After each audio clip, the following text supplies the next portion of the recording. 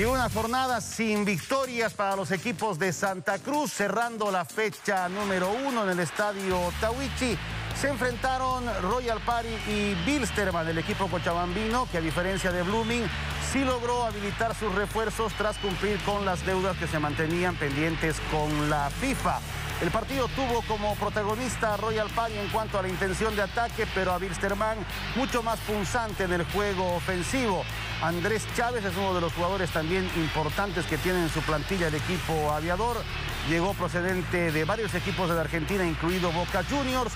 Cambio de arquero de entrada por lesión en el equipo de Royal Party, que como lo ven utilizó un uniforme alterno, no el habitual que los tenía acostumbrado el equipo inmobiliario y César Menacho, el ex Blooming que pasó por Bolívar y fue cedido a Wilstermann, fue valor muy importante para la visita. Aquí dando la asistencia para que Andrés Chávez al minuto 46 marque de esa manera el primer tanto del partido, comenzando el segundo tiempo. Y luego aparece Menacho a los 62 para convertir el 2 a 0 final y cerrar así la victoria del equipo de Bilsterman Buen inicio de torneo para los cochabambinos que jugarán además Copa Sudamericana frente a Guavirá en la primera fase de este torneo continental.